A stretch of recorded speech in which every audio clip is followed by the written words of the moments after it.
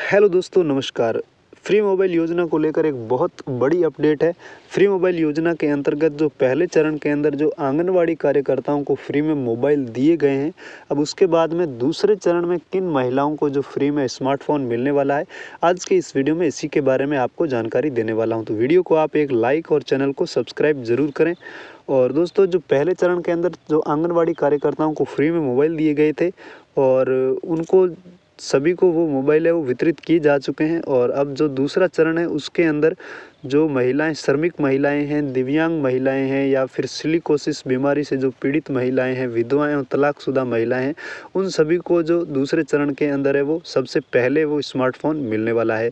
तो ये छोटी सी अपडेट थी, आपको कैसी लगी? अगर अच्छी लगी तो वीडियो को एक लाइक और चैनल को सब्सक्राइब ज़रूर करें ताकि ऐसे ही वीडियोज़ आप तक समय पर मैं लाता रहूँ।